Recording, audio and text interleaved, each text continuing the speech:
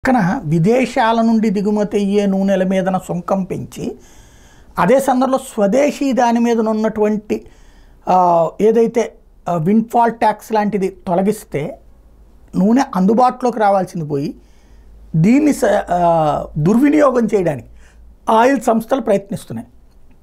ఆయిల్ని బ్లాక్ చేసి పడేసి కావాలని చెప్పి కృత్రిమ కొరత సృష్టించి తద్వారా రేట్లు పెంచే కుట్ర చేస్తున్నాయి. ఇదే విషయంలో కేంద్రం సీరియస్గా ఆయా సంస్థలు నిలదీసింది. వంట నూనెల ధరలు మళ్ళీ పెరుగుతున్న విషయంలో కంపెనీల మీద కేంద్ర ప్రభుత్వం ఆగ్రహం వ్యక్తం చేసింది. తక్కువ సుంకాల వద్ద దిగుమతి చేసుకున్న నూనెల నిల్వలు సరిపడా ఉంటే ఉండగా దేశీయ రిటైల్ విఫండ్లో ధరలు పెరగకుండా కొనసాగించాలని సూచించిన ధరలు ఎందుకు పెంచుతున్నారు వివరణ ఇవ్వాలంటూ వంట నూనెల కంపెనీలను ప్రభుత్వం కోరింది. దేశీయ నూనె గింజల ధరలకు మద్దతు ఇవ్వడం కోసం వివిధ వంట నూనెల దిగుమతి మీద ప్రాథమిక కష్టం సుంకాన్ని ఈ నెల పద్నాలుగున కేంద్రం పెంచింది. ఈ నెల పదిహేను వంట నూనెల పరిశ్రమ సంఘాలతో ఆహార మంత్రి ఒక సమావేశం నిర్వహించి సుంకాన్ని పెంచకముందే భారీ ఎత్తున దిగుమతి చేసుకున్న నూనెల నిల్వలు ఉన్నందున వాటి రిటైల్ ధరలో పెంపు ఉండకూడదని స్పష్టం చేశారు.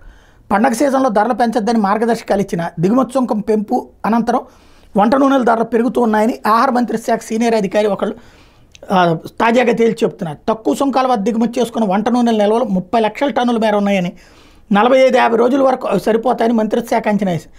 అంతవరకు ధరల పెంపు కంపెనీలు దూరంగా ఉంటాయని ఆశించారు. అయితే ముడి సోయాబీన్ పామాయిలు పొద్దుతిరుగుడు పువ్వు నూనెల మీద గతంలో సుంకమే లేకపోతే ఇరవై శాతం విధించారు. దీనివల్ల ముడి నూనెల మీద ఇరవై ఏడున్నర శాతం సుంకం పడినట్టు అవుతుంది. శుద్ధి చేసిన పొద్దుతిరుగుడు పువ్వు నూనె సోయాబీన్ పామాయిల్ మీద సుంకాన్ని పన్నెండున్నర శాతం నుంచి ముప్పై రెండున్నర శాతం వేశారు. ఫలితంగా వీటి మీద సుంకం ముప్పై ఐదు పాయింట్ ఏడు ఐదు శాతం అయ్యింది. దీన్ని బేస్ చేసుకుని ఇప్పుడు ముందు తినేద్దామని చూస్తున్నారు.